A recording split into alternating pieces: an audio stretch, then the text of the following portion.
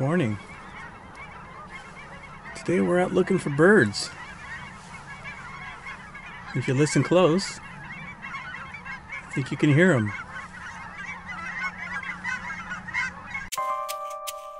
My name is David Patton. When I started photography, I wanted to make art. I wanted to be a landscape photographer. But with a family to feed and bills to pay, I decided it would be better to be a working photographer than a starving artist. So I took a job as a photojournalist. 25 years and thousands of assignments later, it was time to go back to my first love. It was time to follow my passion. Come along on my journey to become the best black and white photographer I can be. Whether it be film or digital, I will be sharing what I learned through my successes and my failures in hopes to inspire and educate. This is my journey. This is Riding the Edge.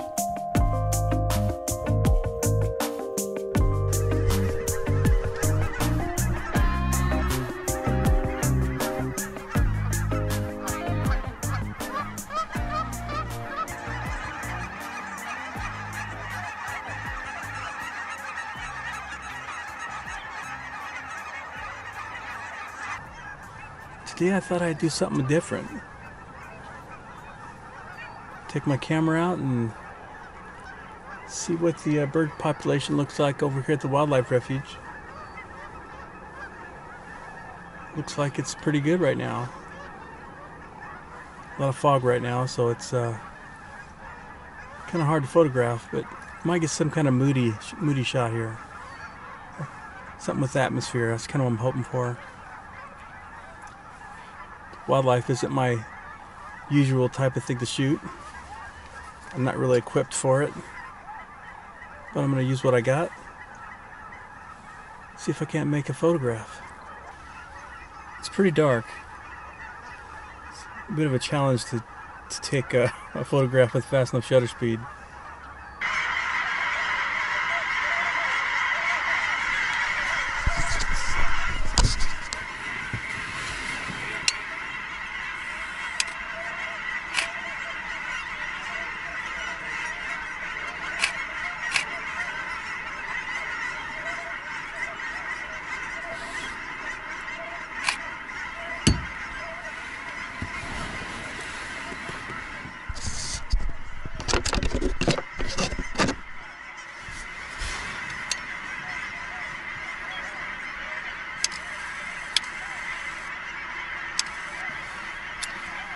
Can't get enough contrast to get autofocus.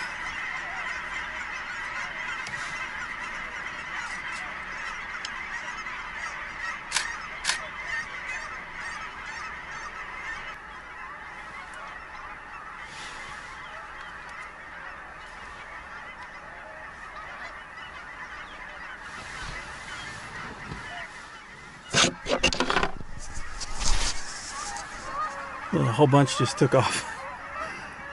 That was uh, kind of a challenge. The light is just so low right now. And uh, the contrast is so low that my autofocus is, especially with this cheapo lens, is having a hard time locking on focus. So I tried some manual focus and some autofocus. I'm just not in an ideal situation. I need to be sitting on that side of the car. But I, I'm kind of wanting to be able to move if someone comes along and says I can't park here. This is not ideal.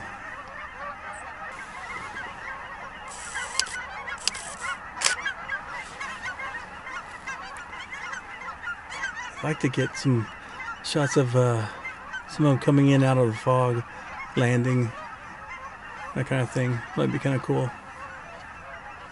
I'm totally out of my element here. Well, not that much. Still photography. You just have to have a fast enough shutter speed to stop the motion of the bird and the shake of the camera. I'm not gonna go for technical perfection. Probably have a little bit of noise in these images, but it's alright. We're gonna get something today. I never did say what I'm shooting with because I'm in in low light. I'm gonna I'm going with my D750. Does a little bit better in low light. and I have a 400 millimeter 5.6 lens on here and the light's really low I'm having to shoot like f30 200 it's a lot lower than I'd like but the fog and the atmosphere got some ice on the foliage there's potential here for an interesting photograph but uh, it's it's a challenge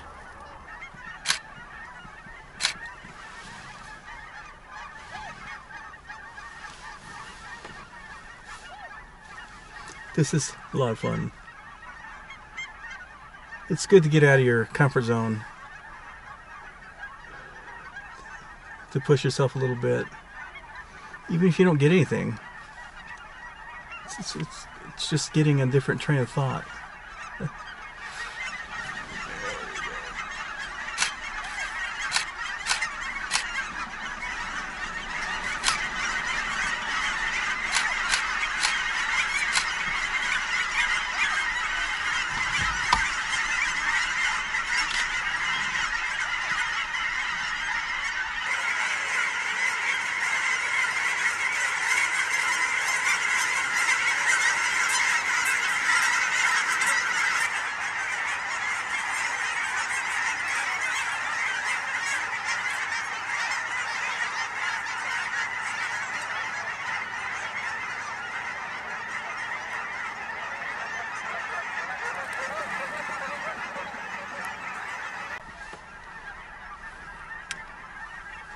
You can either get it on on a, you can either get a still shot or video. It's a bummer that you can't do both at the same time.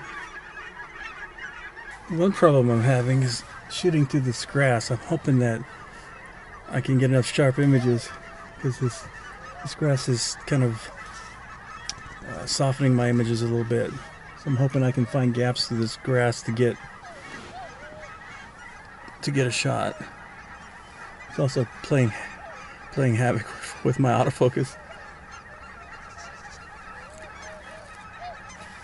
But it also could lend some mood if I can use the grass to frame some of my subjects. So, in some ways, it's probably um, adding something a little different to the photograph if I can make it work.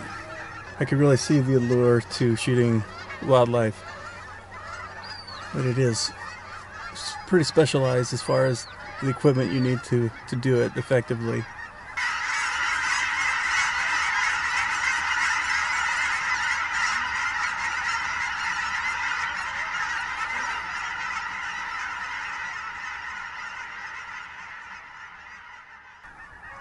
Well, all the birds that were in this area have, have moved on. I don't know if they're heading out to feed in the fields or going to move on down the valley. We still have a few out here, but uh, nothing like what it was before. So I might try uh, another location before I head home.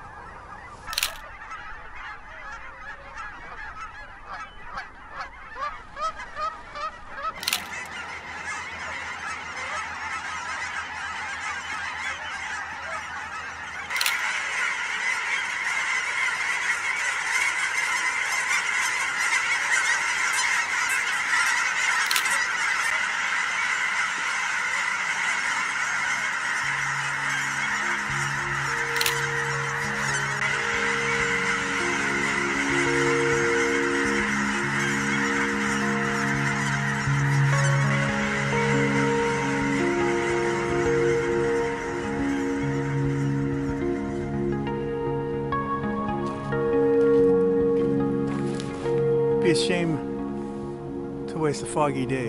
So I think uh, I might try to make a few shots with the fog.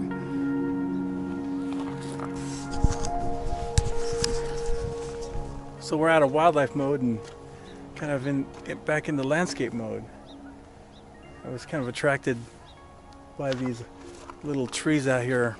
These little spindly little things with no leaves on them. Just barely barely can see them through the fog. I don't know if that's a bit too abstract or not, but I had to, I had to make a few frames. And that uh, since the fog is kind of like this, Maybe I should try to see what else I can find before I head home. Maybe it's not all about the birds. Maybe we're not done yet.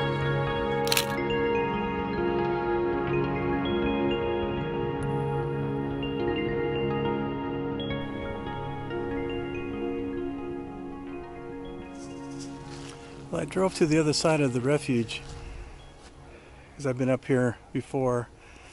It's a little hilly. We've got some oaks on the, some of these grassy hills.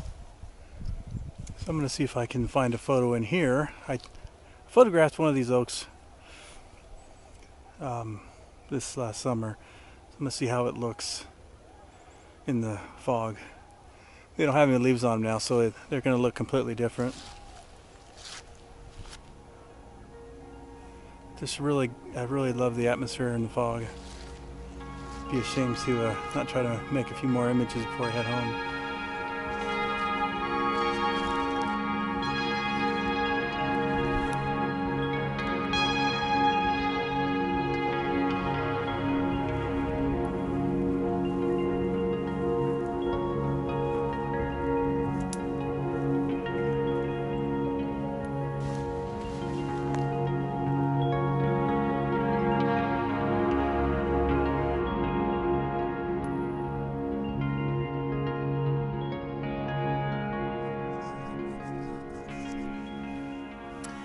Really gorgeous scene.